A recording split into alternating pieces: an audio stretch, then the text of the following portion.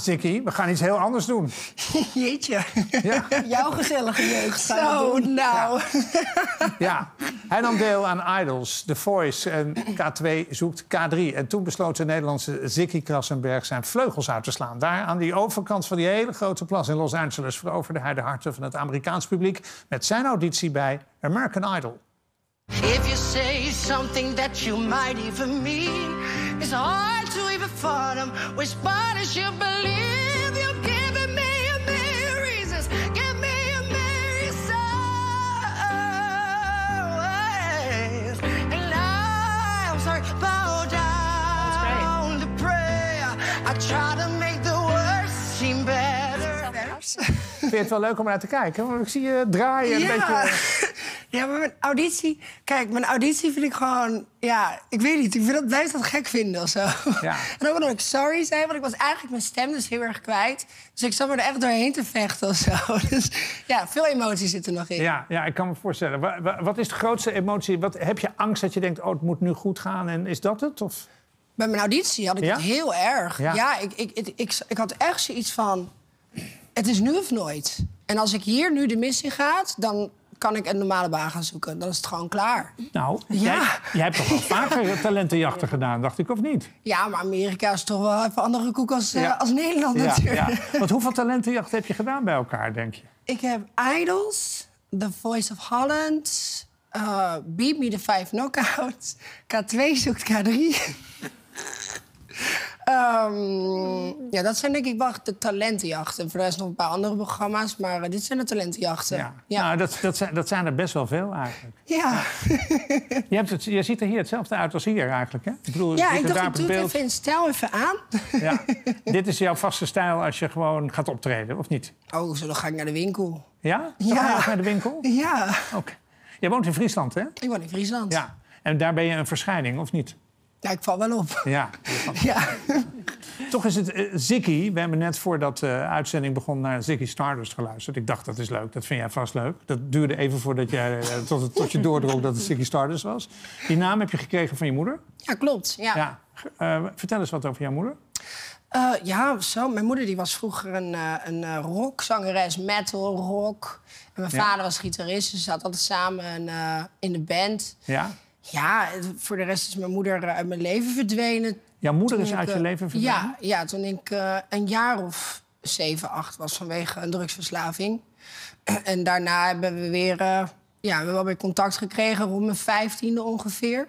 En, maar ze is nu al 13 jaar clean. Dus ja, En heb je nu wel een beetje contact met je moeder? jawel. Ja, Ja, is ze trots op jou? Ja, super trots. Ja? Ja. Ja. En je, want je zegt het even zo in een tussenzinnetje. Ja, mijn moeder eh, is eigenlijk verdwenen met een drugsverslaving. En wie, wie voedde jou dan op?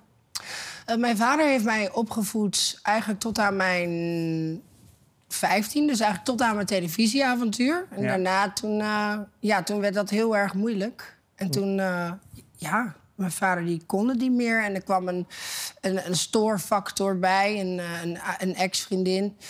En die, eh, die had het gewoon niet met mij. En zo ben ik uit elkaar De stoorfactor, Ik zo noem jij dat. Ja, ja, natuurlijk. ja, ik heb daar geen... Nee, ja, Je bedoelt gewoon een rotwijf. Ja, ja. Ja. Ja, zeker. Ja, die heeft eh, enorm veel schade aangericht. En eh, dat is ja, niet goed gekomen. En toen, eh, ja, dat, dat, nou, toen kwam huiselijk geweld met een rol en eh, veel politie. En daar zat jij dan als jongetje van 15, 14. Ja, ja. Ja, en toen eh, ben ik eh, uit huis eh, gezet. En toen ben ik in een zorgboerderij terechtgekomen. En daar heb ik toen een jaar gewoond. Maar daar ging het ook helemaal mis. Want dat was dichtgegaan omdat iemand was neergestoken. Dus dat was ook weer heel heftig. Dus toen kwam ik weer bij mijn vader.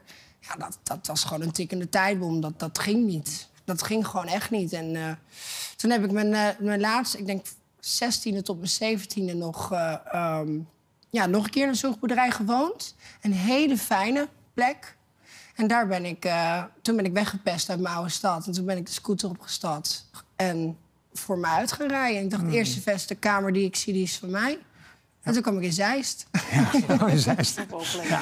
ja. Maar de afstand van hier naar Los Angeles is dus eigenlijk eh, ve- ve- veel kleiner dan de afstand die jij hebt afgelegd om sowieso een, een volwassen mens te worden. Dat was heel moeilijk. Ja. Ja, ja. Nou, zullen we even kijken naar dat jongetje, wat jij dus nu omschrijft... die dus eigenlijk ontzettend in de problemen zit...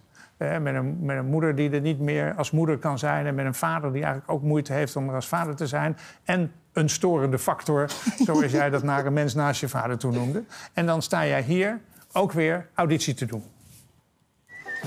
Hey, hallo, hoe heet je? Ik ben Ziggy Grassenberg. Ziggy. Ziggy, Ziggy, Nana. Marley of uh, Stardust? Stardust, ja. Hoe oud ben je, Ziggy? 15. Wat voor muziek luister je? Eh, Ja, gewoon tegenwoordige tijd vooral. Gewoon zeg maar de muziek van uit Amerika. En eh, nou, ook gewoon van die liefdesliedjes, weet je wel. Oké, ja. En eh, En hoe gaat het in de liefde? eh, slecht. En wat is nou jouw absolute droom?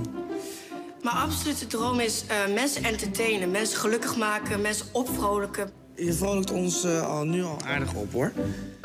Absolute droom is mensen entertainen, mensen gelukkig maken. Ja. Ja. Het, je hoeft natuurlijk maar het eerste de beste prisma psychologiebokje open te slaan. En dan denk je, ja, als je zoveel narigheid hebt, dan, dan, dan, wil, dan wil je dit. Dan wil je mensen proberen Ja. vrolijk te zijn. Dan wil je aandacht, ook aandacht krijgen, denk ik. En liefde en warmte en zo. Ja, nee, ik, ik denk het hele doel van wat ik wou, en dat gaf ik daar al aan. en Dat is eigenlijk precies wat ik ook nog steeds zeg bij American Idol. Van, ik wil mensen opvrolijken en ik wil mensen kunnen zien genieten van wat ik doe. En, en, en daar geef ik ja, mezelf gewoon voor. Mijn leven die geef ik daar wel voor op. Zullen we eens even kijken naar hoe die kleine jongen van, van 14, 15 dat al deed... toen die aan het zingen was hier bij Idols. No matter where you go, you know you're not alone. I'm only one call away. I'll be there to save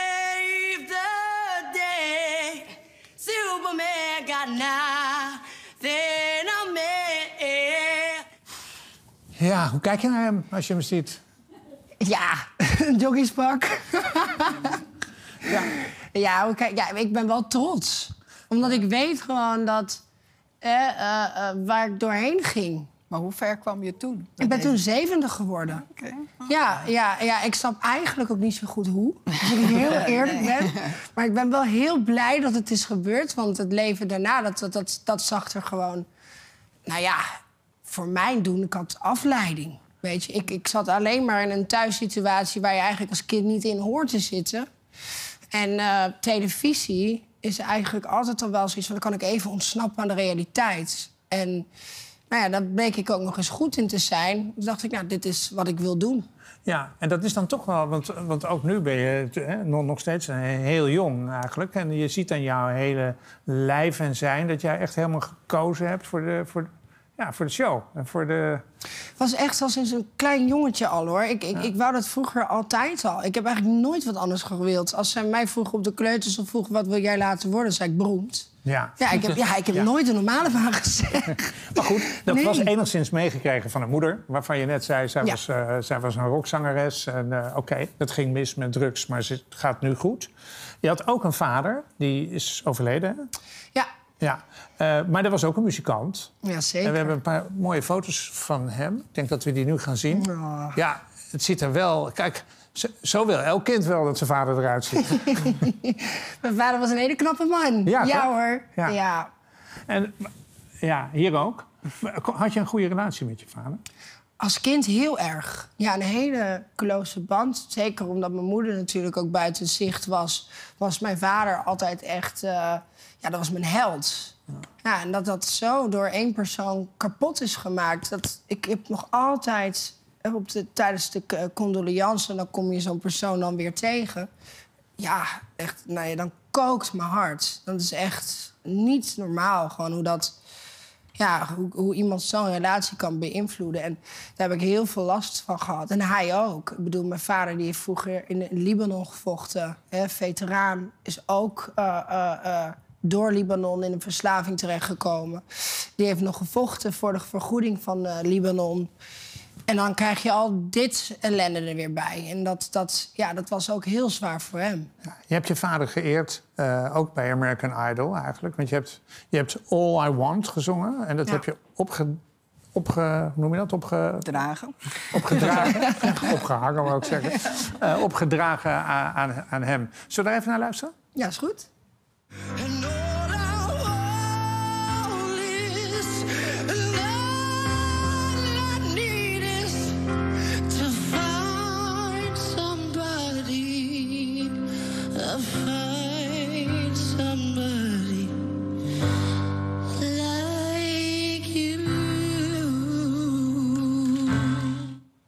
Maar lekker, hè? Heerlijk. Of niet? Als je jezelf zo ziet. Ja, dat is nog steeds wel ongelooflijk hoor, als ik heel Ja. eerlijk ben. Ik heb daar altijd over gedroomd en dan, ja, dan is het echt gebeurd. Ja, en het gaat dan nog verder. Want kijk, je kan dromen dat je lekker aan het zingen bent... en dat sommige mensen het horen die ook nog wel een zekere roem in de wereld hebben. Maar als Katy Perry dan ook nog wat tegen je praat... en dit soort dingen zegt, die ze nu gaat zeggen... dan is het nog leuker. people in here that probably ain't never seen something like you, and they probably had a fixed idea of you. And then you sing that song and you start to break down all of their judgments, and all of a sudden they go, I kind of relate to what he just did. Yes, yes, amen. Ja, Ja. en nu dan? En nu, ja, nou ja dat, het American Idol traject, dat is natuurlijk eh, ja, net, eh, net eh, afgelopen voor de kijker. Een Ja. sing-off. eh, waar Amerika woedend op is. dat is echt heel bizar. De hashtag Bring Back Siggy gaat enorm viral. En dat is echt waar. Ja, dat is, het is zo bizar. Bring Back Ja, oh ja? overal staat het. En mensen zijn echt woedend. Dus dat krijgt misschien nog een staartje. Oké. Daar zijn we nu over in gesprek. Dat ze jou misschien nog gaan terugvragen. Mag je nog niet. als zodra ik zeg maar, echt zelf ook weet van wat gaat er nou gebeuren, dan eh, ga ik het wel vertellen. Maar dat krijgt zeker een staartje. Ja, mensen zijn echt. eh, Ja, nou, overdrijf pissig. niet. Want ik vond het, ik hoorde dit. Ik dacht, zou dat nou waar zijn? Dus ik heb naar de sing-off gekeken op YouTube. Want daar kan je hem gewoon zien. Op YouTube kan je alles zien. En dan zie je inderdaad allemaal comments van mensen. Waarom moet hij eruit? Waarom Sikkie? Waarom? Laat hem blijven. Het is echt heel schattig. Maar het was ook echt een van mijn beste performances. Dat ik dacht van, nou ja, die, auditie was weer niet, nou, vond ik niet zo heel goed. Was oké, als ik heel eerlijk ben. Maar ja, die zingen vond ik wel Ja. verrekte goed. Dus dat vond ik, eh, nou ja, Nou ja, we gaan het, eh, er komt vast nog wat aan. Dit kan niet het einde zijn. nee, zeker. Nee, het is het begin. Het is net begonnen. Dankjewel. Alsjeblieft.